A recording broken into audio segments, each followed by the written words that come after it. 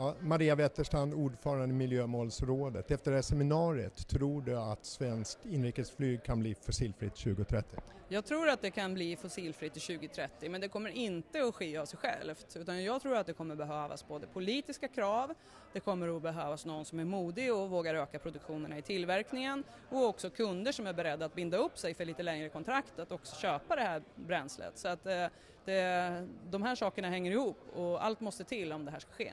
Mm, Lena Wennberg, eh, miljöchef på Swedavia.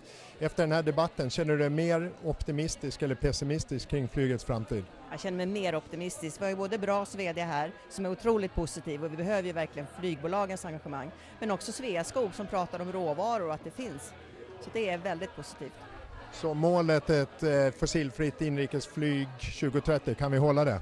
Ja, det kan vi på samma sätt som vi når vårt eget CO2-mål till 2020. Vi vet idag inte hur vi ska göra, men vi måste prata om det, vi måste börja jobba med det och då kommer vi nå det. Eh, Lena Bruse, Sveaskog, vad tar du med dig från det här seminariet om hållbart bränsle?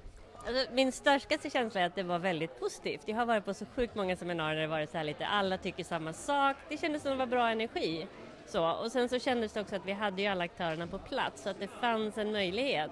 Men sen tror jag vi kanske behöver sätta oss vid ett bord och fundera på vad är affärerna i det här och det är ju nu vi måste jobba med att hitta de hållbara värdekedjorna där vi delar vinsten och risken. För att det som är viktigt tror jag med bio, biodrivmedel för flyget är att hitta konsumenterna. Att folk måste tycka att det är värt att betala och den viljan att betala mer måste liksom trickle down economics, det måste ända ner till oss i grunden bland odlarna som gör råvaran.